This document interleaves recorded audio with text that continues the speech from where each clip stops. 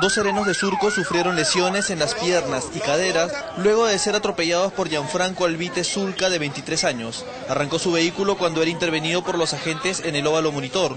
Se bajó y quiso arrancar la pura y le he agarrado y, y, ¿cómo se llama? Y, y se, ya me ha arrastrado, me ha arrastrado. Entonces, hemos querido bajar y. ¿La placa que te he dado? Nos ha golpeado con su la puerta, él agarró la llanta, a mí me agarró la puerta.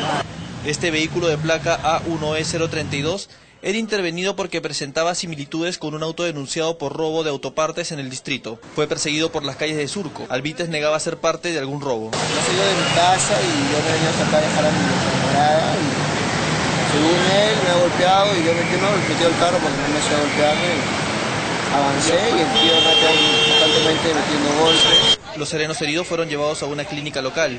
Alvites a la comisaría de Monterrico. Fue puesto en libertad mientras continúan las investigaciones por el confuso incidente del atropello de los efectivos de Serenazgo.